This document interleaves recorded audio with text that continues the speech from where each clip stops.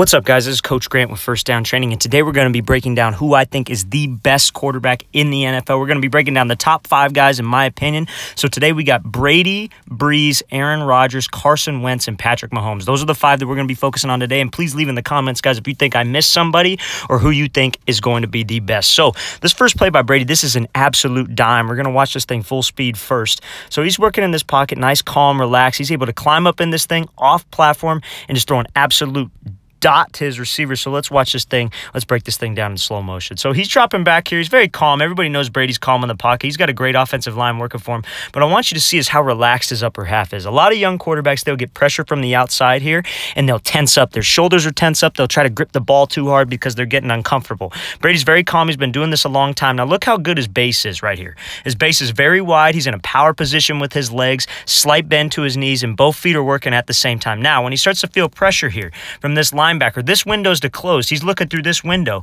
He's got to make something happen. So he gets out of this pocket and he scrambles upfield. Now, Brady's not a runner, so he doesn't really have a run threat. But I want you to watch his shoulders on this throw. That's why he's able to throw this thing with such a lot of pop.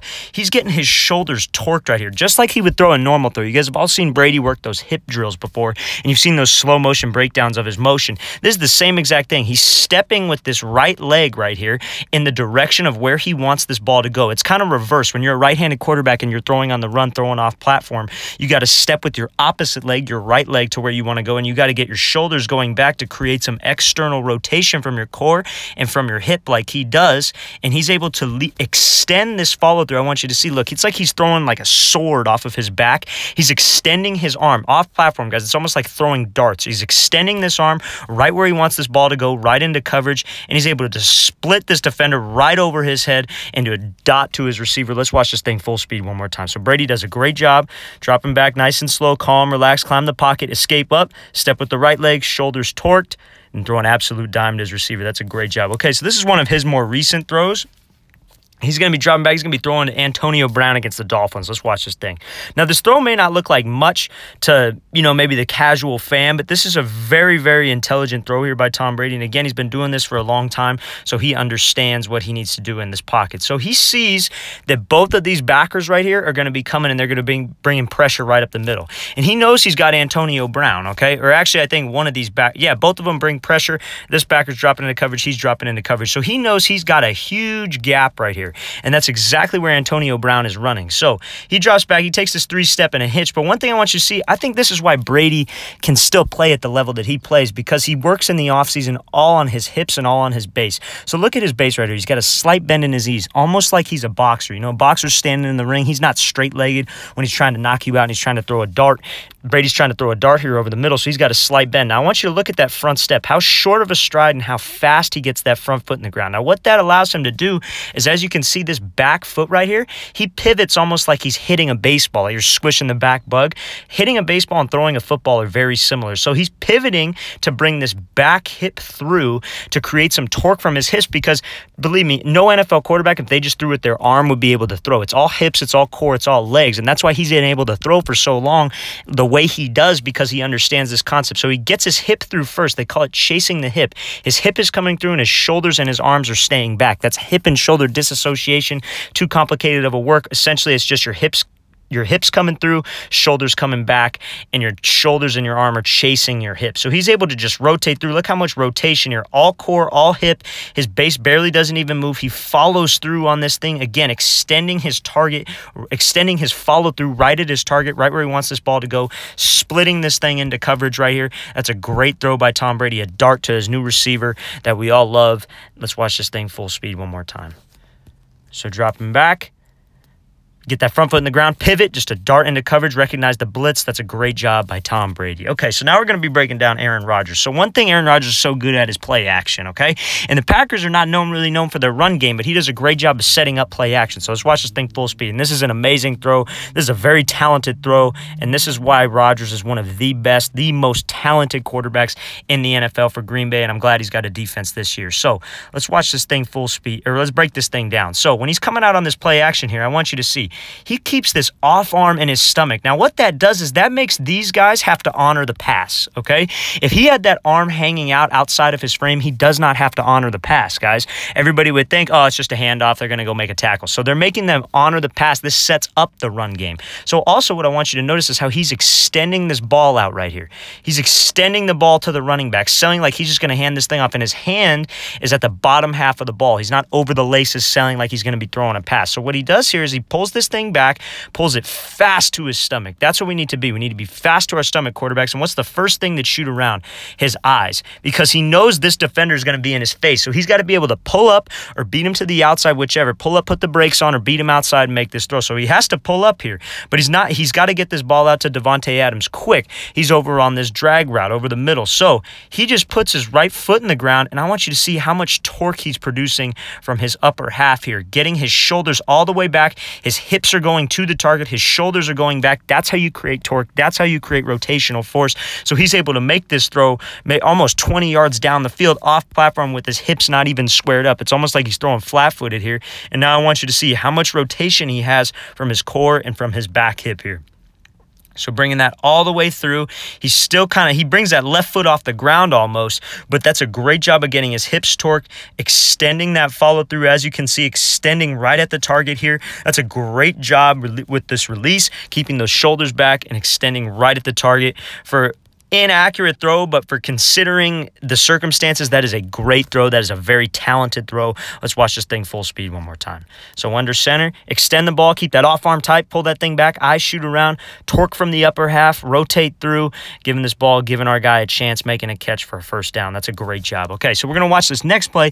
Now, this play was a drop, but this was a great throw, and I think this was too great of a throw to not put in here. So let's watch this thing full speed. This is a more recent clip from when they played the Vikings last week. So same thing, play action, now navigating in the pocket so well like he does, making an off-balance throw, and that's just a drop by Davante Adams, which is very uncommon. Huge Davante Adams fan, but let's watch this thing full speed one more time.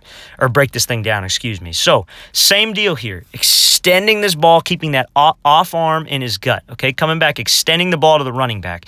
That makes all of them think run, but he keeps that off arm tight, so they, they got to honor the pass. They have to honor the pass when it comes to the run game. You want to make everything at this point, they call this the mesh point. Everything at this mesh point look the exact same. So he pulls this ball back. What's the first thing that shoots around? His eyes. Eyes are the first thing that shoot around. He's going through his progressions downfield because that's what he knows he has to do. So he shoots his eyes back around. Now, I want you to see his base in the pocket here nice strong base. Feet are just outside of his shoulders, slight bend to his knees. Now he's getting a little pressure here. Now I want you to see how his feet are navigating in this pocket. Both feet moving at the same time. He's not doing that kick step with just his right leg or just his left leg where your base is split like all these quarterback coaches love to teach. He's moving both feet at the same time. Now, when he decides to make this throw here, I want you to see how much of a power position his base is in. His weight is distributed about 60-40. He's got a powerful position on his back leg. He's pushing off this inside arch. Now, I want you to see, everybody loves to talk about about Rodgers' quick release, look how much his hips are coming through before his upper half. The reason why he has a quick release is because he gets that left leg in the ground fast, he gets that hip shooting through, and the arm will just support that, okay? So his hips are coming through first, his arm comes through, even off balance. He's extending that follow through, as you can see right here, extending right at the target, letting this thing go. And this is a great ball. This is just ultimately a drop by Davante Adams. It happens, not like not common for him, but let's watch this thing full speed one more time. Play action, navigating in the pocket. Pulls that thing back, navigating in the pocket, navigating in the pocket, extends, lets this ball go. Just a little bit of a drop right there, but that's all right. That's a great ball still from Aaron Rodgers. Okay, so now we're going to be breaking down Drew Brees. So he's going to be working an out fade concept. So the inside receiver here is a cover two look, which means these two safeties are coming out wide. There's going to be a gap in the middle of the field, and there's going to be a gap in this hole right here up the sideline. So we're going to watch this thing full speed first. So Brees gives a little step to the out, freezes the corner, drives that thing in. They call that a hole shot, guys, for a touchdown. Let's break down what makes this thing so great right here. So Brees dropping back in the pocket. So it's hard to see the corner right here, but Brees just gives a step, and that's what freezes this corner because the corner in cover two is responsible for this flat area. So he knows he's not going to the out. He knows already from pre-snap read, going through his coverage reads that he's not going to be going to this out right now. So he just steps here steps to the out, and what that does is that freezes this corner, makes him come down, makes him think he's going to break on this out here, and now he's got this entire gap right here. Now you see where the receiver's at, and you see Brees is already starting his throw. That's called anticipation, guys. He's anticipating this window. This got this ball has to be on a dot before this safety even thinks about getting over there. So Brees does a good job of rotating through, driving this ball right in the hole, and so it's a touchdown. So main thing here, guys, is you see he doesn't do this whole pump fake thing. He doesn't take this ball back and bring it all the way around because then he's going to have to reset and then he's going to have to make this throw. And by that time, the safety will be all the way over there. So it's just a step, just a little step from his left leg. That's all it takes to get that guy to bite. Now, what I want you to see here is the reason why he's able to make this throw is look how wide his base is, guys. Feet are outside of his shoulders. He's a smaller guy, but he can still have a good base. A lot of guys don't like to have a wide base because they feel like it makes him shrink. But Drew Brees is one of the tallest, not the tallest, one of the shortest guys in the NFL, quarterback wise. So it doesn't matter. And that's why he gets this left foot down so fast. He wouldn't be able to make this throw if he didn't have a good base. If his base was close together, he'd have a long stride. It would take longer, and that safety would be able to get over. So he gets that ball on the ground. Look at his back hip, same deal. His back hip is coming through great. His shoulders are going back. He's able to rotate through, create a lot of force here and just drive this ball right into that hole shot, cover two ball. That's a great job by Drew Brees making this throw. Then he makes that guy miss for a touchdown. Let's watch this thing full speed one more time. So, dropping back, step to the flat, reset, drive this hole shot throw, touchdown. That's a great job by Drew Brees. Okay, so this is going to be a play action fake by Drew Brees, and they call this a conflict climb movement inside the pocket. Let's watch this thing full speed. So turn plays that play action, come upside pressure, reset, just throw a ball upfield. Now, this is in a double coverage, and I know a lot of you will probably criticize him for this, but a lot of the times, guys, if you trust your guys, if you've worked with your guys all week in practice, all it is is about giving them a chance. We got to give them a chance to make a play, and that's what Drew Brees does a good job of. So, again, he's extending this ball back. One thing I don't like about this fake is it's a little low. He's not really being a salesman, and his hands are over the threads, okay? A good linebacker is going to notice that his hands are on those threads. Okay, it's passed. Nobody hands the ball off like that, and that's another thing for you linebackers watching this video. If your hands are over the threads, threads, or if you see a quarterback's hands over the threads, that's when you don't want it. That's when you know it's a pass because nobody hands the ball off like that. But when he pulls it back, the first thing that shoots around are his eyes. Now, He's not looking at this outside pressure right here. He's not looking at his offensive line. He's looking downfield. So this guy's coming upfield. He beat this guy. I think this is tight end blocking for him. Yeah, his tight end's blocking for him. He beat him. He's coming top shoulder. Now, Drew Brees doesn't want to slide up in the pocket because he's leaving the football exposed. And that's a big popular thing with these defensive linemen is they get a strip sack. So what he does is he puts himself between the defender and the ball. So there's the ball, there's the defender, Brees is right in the middle. Okay, that's how you have good ball security. You step through with this back leg too. You see how he brings this back leg, he steps it through. That's protecting your top shoulder. They call that movement the conflict climb. Okay, so there's conflict in the pocket. You're climbing the pocket, you protect that ball, you get back to your platform here. Now, Drew Brees is throwing this thing downfield. His shoulders are on this 45 degree angle right here, guys. 45 degree angle. So when he gets that front foot down here, he's going to be able to rotate up over through this throw to get some arc on this thing because he's going to be throwing this thing downfield. So he goes up and over, as you can see. Same deal with his hips. His hips are coming through great. Hips are coming through first, shoulders, and the ball is trailing. They call it chasing the hip, guys, again.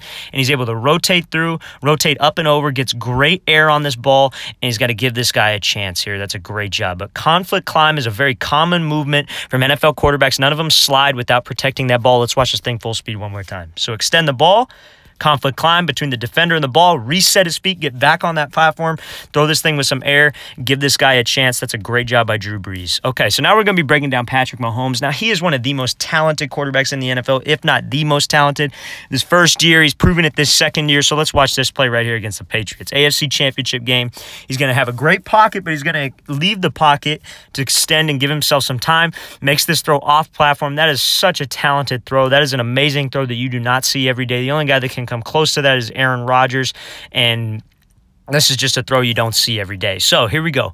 So Mahomes takes this ball. He's dropping in the pocket, nice and calm in the pocket. Again, he throws a laser, and look how relaxed his shoulders are, okay? Because he understands the concept that it's all hips, it's all core, it's all legs. He doesn't want to force this thing with his arm because he knows it won't get there if he does that. So what he does, standing in this pocket, nice and calm, he escapes out of the pocket. Now, again, he steps with this right leg where he wants this ball to go, and now he's getting his shoulders torqued back. Let's watch this a little bit more Ball's a little low here, but he gets some torque from his upper half, steps with his right leg. His hips are going to where he wants this ball to go, and his shoulders are going back. That's how you create torque. That's how you're going to create force on this ball. So he's able to rotate through. As you can see, he gets a ton of rotational force from his upper half here because he's stepping where this ball wants to go. And now look at his follow through. He's leaving this thing where he wants it to go to lead his guy right upfield, giving him some air here. He gets his shoulders up at a 45 degree angle as well to rotate up and over this throw. Gives this ball some air, lets this thing drop right in the bucket for his receiver. That is a crazy talented throw. Let's watch this thing full speed one more time. So drops back in this pocket here, nice and relaxed, very calm, very calm. Escapes this pocket, eyes are downfield, steps to where he wants it to go, torque with his upper half, drops this thing right in the bucket for an absolute dime. That is a great ball. Okay, so this is a throw he made against the Raiders last week. Let's watch this thing full speed here. So he's going to be moving in this pocket, both feet at the same time. A little bit of an overstride. It's a little bit of that baseball background, but an absolute dime to the back of this end zone. Let's watch this thing. Let's break it down in slow motion. So the reason why he's able to make this throw is you see he's not moving one leg at a time and he's not kick stepping here. Every all these quarterback coaches love to throw in these drills where the guys are kick stepping. I'm sure you guys have seen it where they kick with one leg and they push off their left and they swing that right back. This is one of the best quarterbacks in the NFL moving both feet at the exact same time. Now the only thing I can criticize is his feet are a little close together here. And you're going to see what that does. It takes a while for this left leg to get in the ground. So his feet are close together. He's got a little bit of a long stride. And what that does is that makes this release a little bit longer. But he's got so much arm talent. He's got crazy torque. See, once he does get it in the ground, that's a good base there. If he would have just stayed wide the entire time, the release would have been even quicker. But his hips are coming through first. He's got a slight bend in that left left leg. That's why he's able to create so much power. If he were to extend with this left leg here and just go straight up and down, he would have no power. His legs would shoot back, but he's able to get these hips coming through first. This is a perfect example of chasing the hip. Hip coming through first. The ball is trailing. His shoulders are trailing. That's how you create torque. That's how you create force. And then he's able to just drive this thing, keep a slight bend in that leg for an absolute dime to the end zone. Let's watch this thing full speed one more time. So dropping back here, both feet moving at the same time. Drive, get that left knee bent, get those hips coming through. Absolute dime for a touchdown. That's a great job. Okay, so this is a play Carson Wentz made on Sunday Night Football. Now, as a quarterback, you got to have that dog in you. You got to be willing to just die on that field almost. I know that sounds cliche, but this is a perfect example of why I think Wentz belongs in the conversation. He didn't have the best game here, but just look at this. Never say die attitude. Extend the play. You're down in the fourth quarter. That's a great job by Wentz. That shows a lot of heart, but a couple things we can break down down here. So he's dropping back in this pocket. I want you to see here, he's getting top side pressure, but where are his eyes? downfield. He's not worried about all this crap on the inside here. His eyes are downfield. So now he gets some top field pressure. Look what he does with his back shoulder.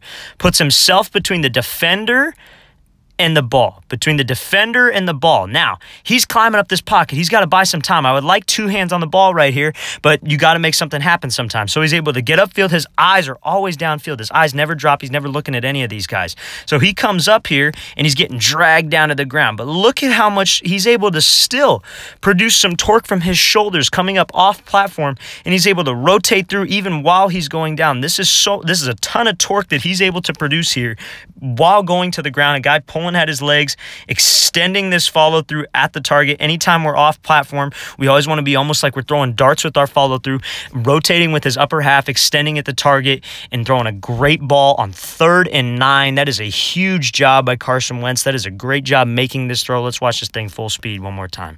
So he's dropping back here between the defender and the ball with his back shoulder, eyes downfield, create some torque, extend the follow through. That's a great job extending the play by Carson Wentz. We could break this thing down one more time. Extending the play, extending his arm at the target. That's a great job. Okay, so this is a big time throw here by Carson Wentz. And again, this is why I think he belongs in the conversation.